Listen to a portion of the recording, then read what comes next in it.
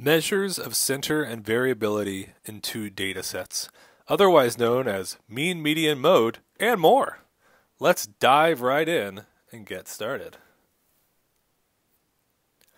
And right away, you can see some things. I'm going to scroll to the bottom here to see that we only have five problems today, and that's because each one of these problems has multiple parts. Starting with number one, mean, median, mode. Let's do some vocabulary reminder of what these terms mean. Mode is the easiest to start with because it simply means most occurring. Oh man, I hope I spelled occurring right. Most occurring. So which one appears the most? Mode most. So we've got every number appearing once except for 21, it appears twice. So my mode is 21. It's always the easiest one to start with. Then we have our mean. I had a student who was named Armin a few years ago, and I remember being so confused as I said that all the time, and it was a, a joke for all involved. But now, thankfully, he has graduated, moved on. So now I could just try and say the mean of our problem. That is the average, otherwise known as you add up all the numbers, and then you divide by your number of numbers. How many numbers do you have? And then finally, the median. The median, like you're driving in a car. That's going to be a great car, I can already tell. You're driving in the car down the road. The median is this middle, the middle of the road. So it's the middle number in order, though. From least to greatest. And if you have two middle numbers, then it could also be the mean or the average of middle two numbers. Okay. As with most math problems and things in life, it's easier to just go ahead and dive in and do it and then learn that way. So let's do that. Now, if you don't have a piece of paper or something to write with for this assignment, I highly recommend you pause this video right now and you go get it. And what I'm going to do first, before I write these numbers in order, is I'm going to just type in, because they could be in this order right here, I'm going to type in my calculator and find the average once I figure out the mean. Okay, so hit the slash. I recommend that immediately immediately. uh, then you add them in order up top. So this is all going to go on the top. So I've got 32, 17, 21, 30, 35, 12, 21, all on top. And on bottom, you put how many numbers you have. So one, two, three, four, five, six, seven numbers go on bottom.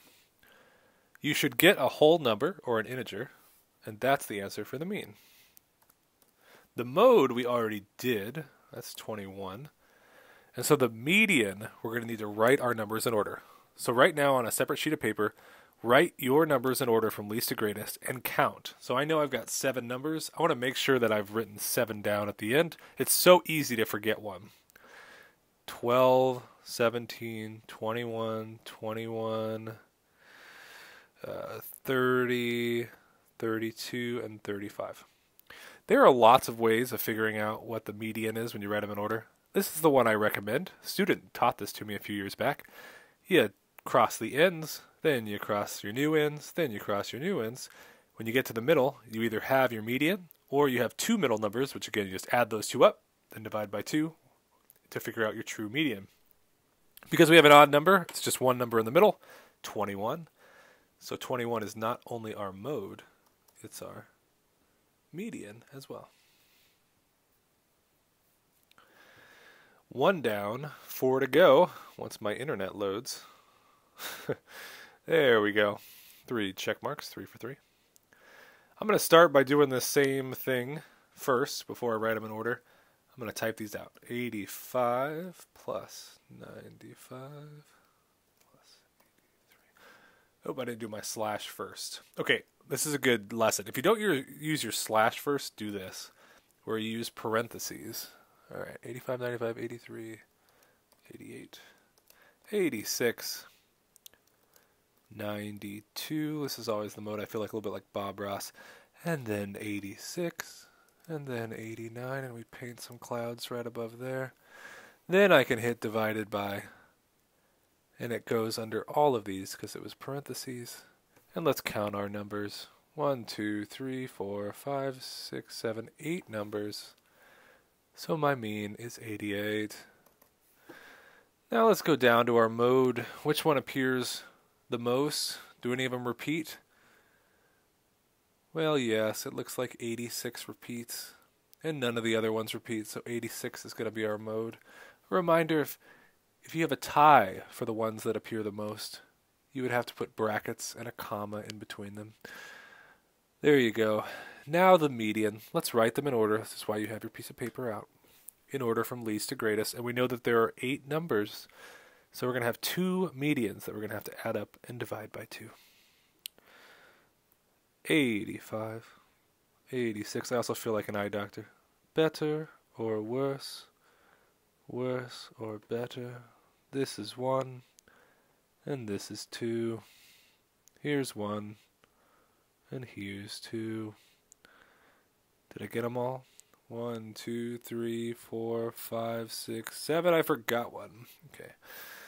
Let's see, 85, 95, 83.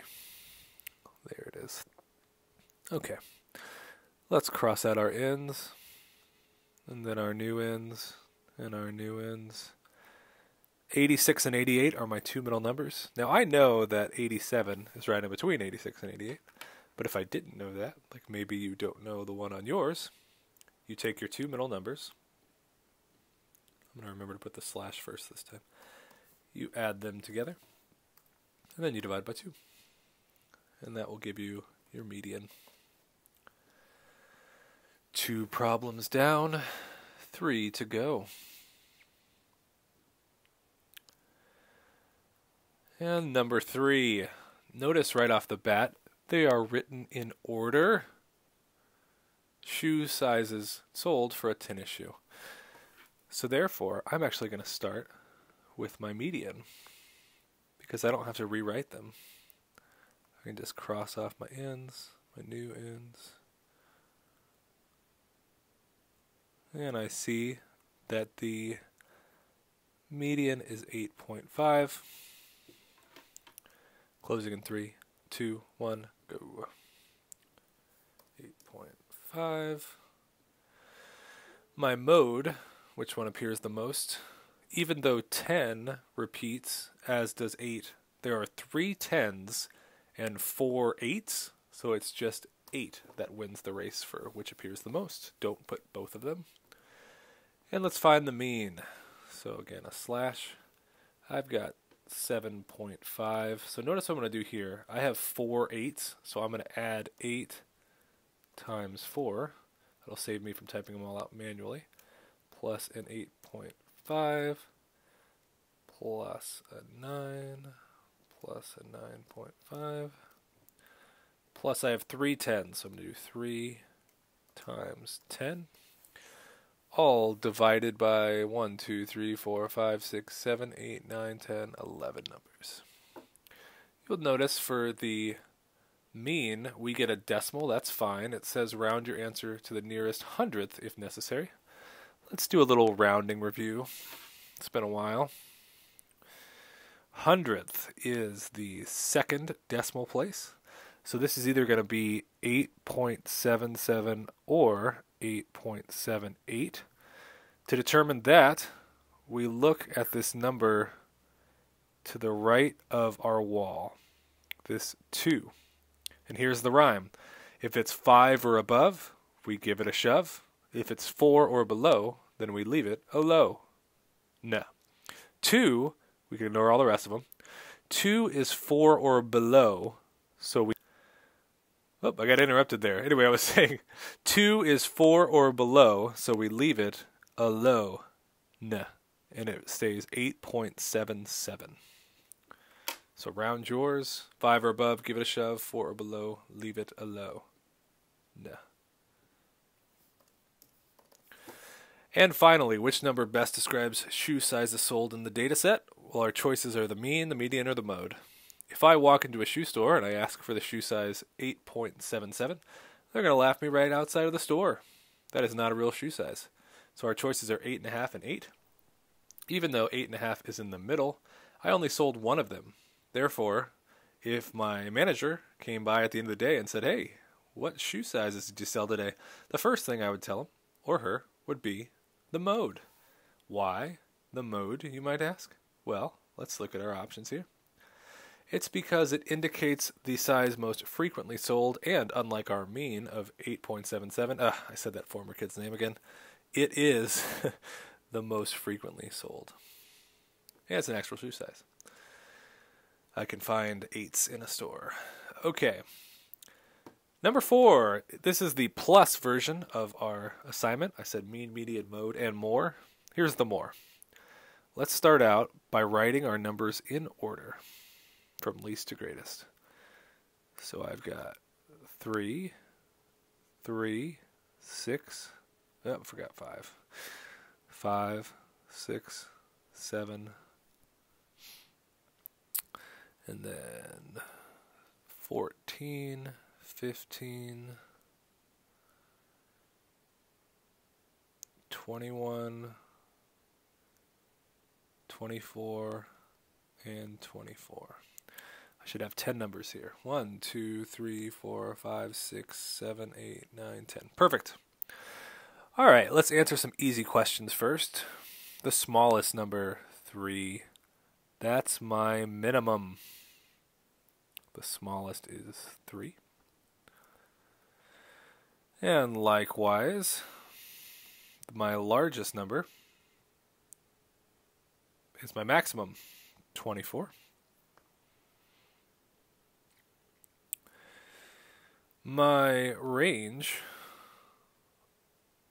the range is, let's write this out, range, let's use orange. Orange indeed. Max minus min, so that would be well, I'm going to go all out on the color coordinating here. 24 minus 3. that would equal 21. So my range is 21. My median, I know how to do that.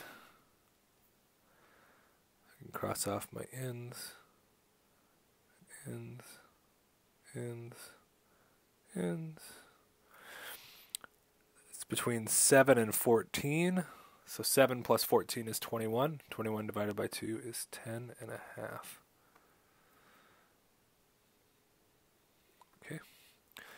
So let's talk quartiles.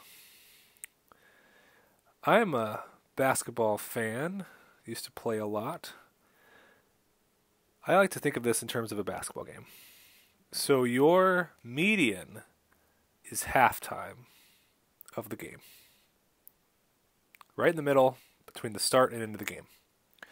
If we think about the first quarter, or the first quartile, Q1, we think specifically about what is right in between the beginning of the game, which is the minimum, and halftime, this 10 and a half. So you need to ask yourself, self, what number is the median or the one right in the middle of the first half? Well, ends, ends, five is right in the middle of my first half. Quartile one. And same thing for the second half, right in the middle. 21 is my Q3, my third quarter. And because range is maximum minus minimum, is there a shade of yellow that'll show up? Maybe this one. The interquartile range is Q3 minus Q1, or maximum quartile minus minimum quartile, which is, let's try and color coordinate this again. I made green my Q1, so that goes there, and I made this uh, brown my Q3 If I subtract the 2, I get 16. Which I should have in yellow, I guess, to be perfectly color coordinated. So 16 is my interquartile range. Oh lord, how am I going to remember all these to type them in? I'm going to have to write them down somewhere. Oh, I know what I'm going to do. I'll just take a picture of this with my phone. Ooh. Smarter, not harder. Okay. Boom. Done. So now I can close this. And I could fill this in. So my minimum is 3. My quarter one is 5. By the way, if, by the way, if you still need that stuff, rewind the video. Sorry I didn't give you a warning. I was going to close it. I was so excited for this picture I took with my phone. Maximum is 24 range is 21 and interquartile range is 16. Show me perfect score.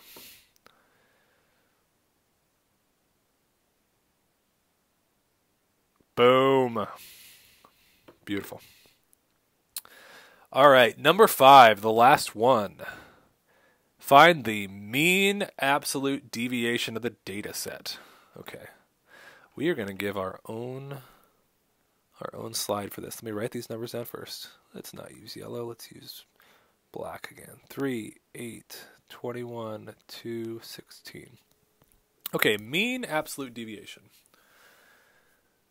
Mean absolute deviation. MAD. It's three steps. Number one, find the mean. So in your Desmos calculator, type out your numbers divided by 5. I guess I'm going to have to do that separately on my phone that all of a sudden I'm just using a lot for this. Alright, so 3 plus 8 plus 21 plus 2 plus 16, that's 50 divided by 5. I get 10. So that's not my answer. That's just step 1. Step 2 is the absolute deviation. That means, uh, let's use a separate color for that. The absolute deviation.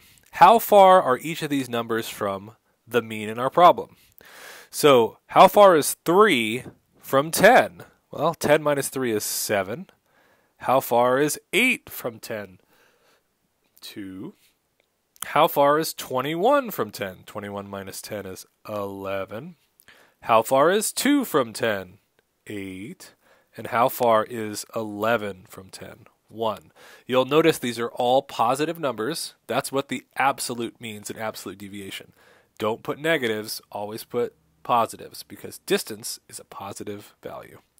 And finally, in red, I guess, we're going to do the full MAD, the mean absolute deviation.